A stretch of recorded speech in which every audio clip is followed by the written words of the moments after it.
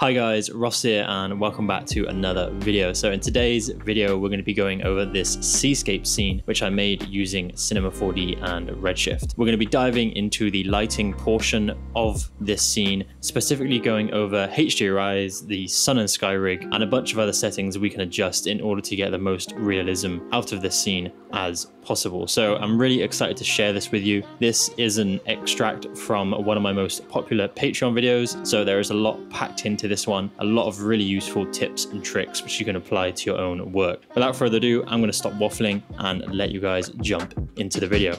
Enjoy.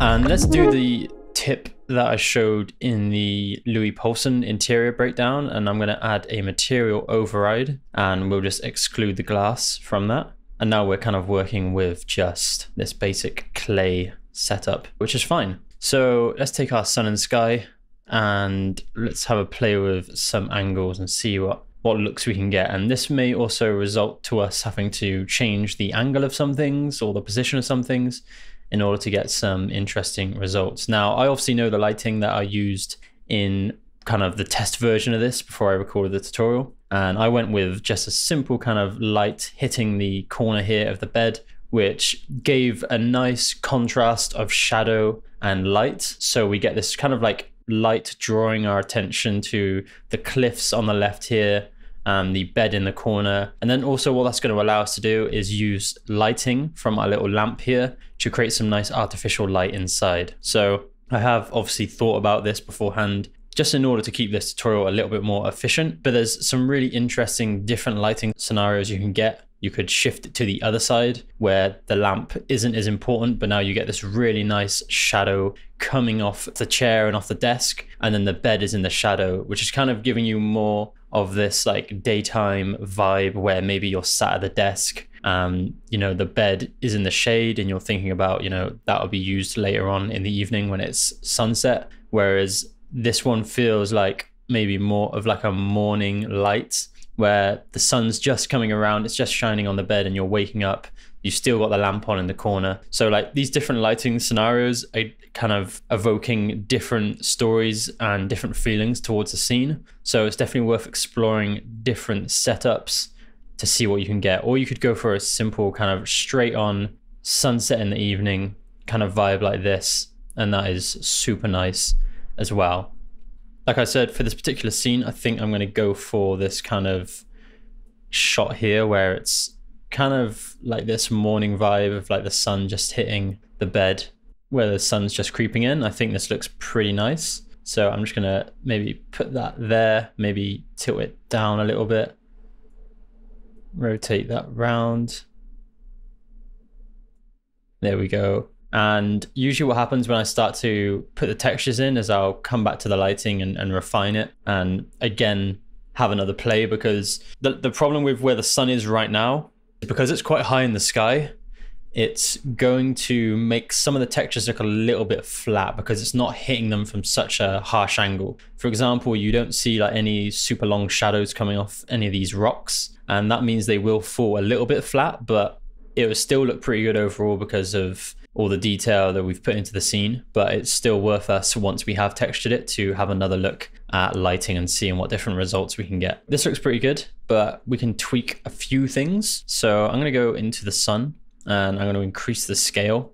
Obviously, if we increase it loads, we now get like this really soft look, which is actually quite nice. But I'm just gonna go for something much more subtle. So I'm just gonna increase the sun disk scale to something like maybe between five and 10 and that's just going to give us like a nice kind of soft blend uh, in the corner which still has some harsh features to it but overall has a bit of a kind of softier, softier, a bit of a softer dreamier look so maybe something like seven where it's just a slight fall off uh, it's not as harsh I think that works pretty well. One thing which I've discussed before in a few tutorials is how I think the sun in the sky doesn't really give you the best lighting straight out the bat. But one thing we can do to fix this, and this is actually someone commented on my Louis Poulsen breakdown video about, is using the portal light. Now, I've tried so many different methods for basically getting more GI bounces. One you can do is go into your overrides and bump up the GI intensity, and you'll see that that will fill it with more kind of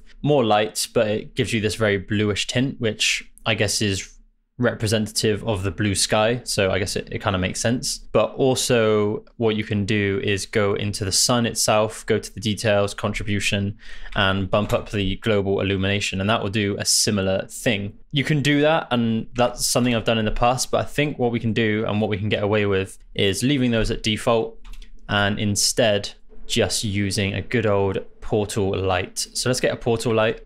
Essentially, what this does is it will tell cinema where the light is coming from and where to focus the GI bounces, and it will give you additional kind of GI bounces in that area. So the way you use it is you basically find where the opening is, where the majority of your lighting is coming from, and you place it right up against kind of that area. So you want to get it pretty close to where our glass is and just make sure it's filling that whole gap. So I'm going to go to the front view and just extend the size of this so that I'm making sure that it's kind of filling that whole space. And what you'll see straight away is that we're getting more light come through into the interior of our scene. So if I disable the portal light, you can see it's quite a bit darker. And if I enable it, we now get more of that blue light in there from the sky. And it's also just brightening the inside. So I could maybe bump up the exposure to one. That'll make it even brighter. We get more of that sun come through. And yeah, it just feels a lot better overall. Uh, the one thing you will get is you'll get that really heavy blue tint, which we are getting, which is okay, but um, it looks a little bit too intense and it's obviously adjusting the colors, which we don't want. So we can go to the sky and drop the saturation down. So for example, I could put it to like 0.2, where we still have some of those cooler tones coming in, but now it's reduced it and it feels a lot more neutral. The only problem then is now the sky is grayscale. So what I'm going to do for now is I'm just going to leave it at one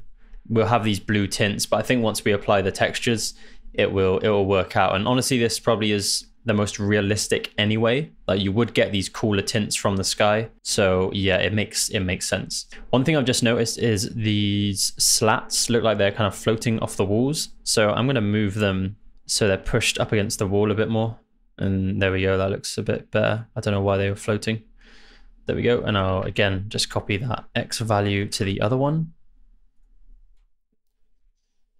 That'll fix that. And also, I'm actually just going to get rid of one of the clones. So I'm going to set it to 11, just so we have more of a gap between this one at the end, which, yeah, I think that, that looks a lot better now. That feels a bit neater. Yeah, cool. I, I think there's some things I want to fix later on, but for now, let's just focus on the lighting because there's a few other things I want to talk about. We can see in the distance, we can see the black line from the sky. And the way to fix this is just adjust the horizon height so if I just refresh the render view, go to horizon height, and instead of having it at zero, just set it to like minus 0.1, and that'll fix that. And you could also blur the horizon as well, ever so slightly, uh, and that will just blur that.